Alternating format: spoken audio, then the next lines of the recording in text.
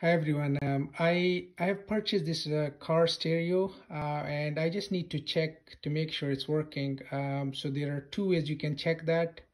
Um, the first method is uh, you can check it through an uh, through an adapter like this. But um, if you have access to the spare battery or your car battery, I would recommend using that method because that's a bit safer compared to using this method so with um, but I, I, just for uh, uh, demonstration purpose or I just wanted to help if you're in if you don't have access to the car or the car battery then you can there's one way you can check.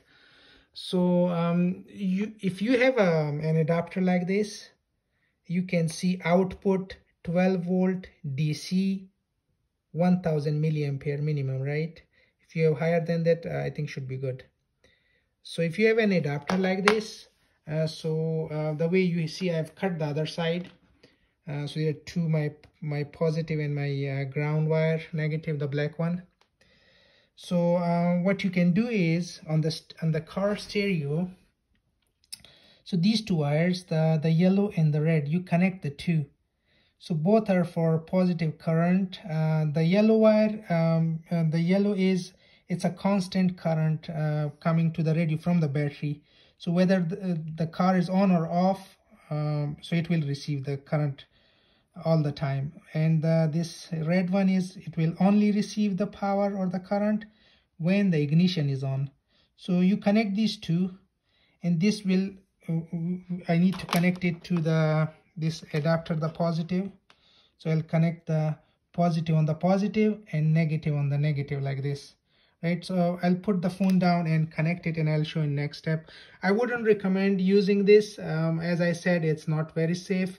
So if you are using this method please proceed at your own risk. Um, there is a risk of electrical shock or you may short out your radio but i just wanted to show there is a way you can check that. So yeah let me proceed and connect the wires and you can see it next. Um, i've connected the these two wires uh, the the red and the yellow to the red wire which is my positive uh, from the adapter. And then I've connected the the black wire the ground wire to the ground from the stereo.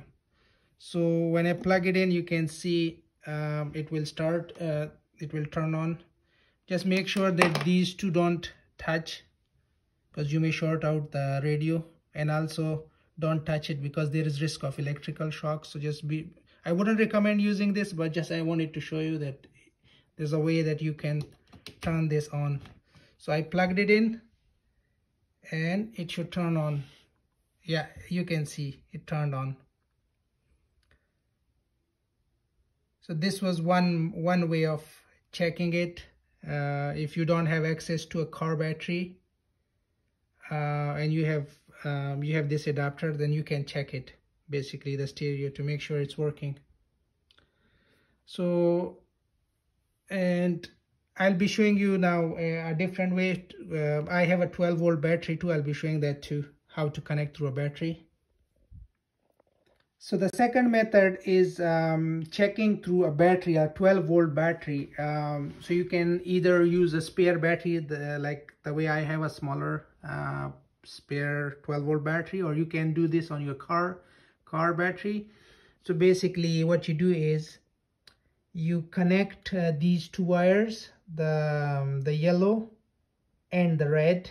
These are both positive, positive wires. So you so I you can you can see it I'll connect it to the positive and this is the negative wire right the black one the negative so it goes on the negative on the battery so I've already connected on the other side. You can see the negative.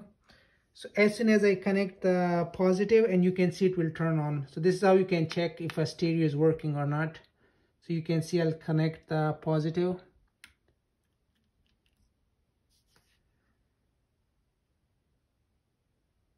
And here you go. It just turned on.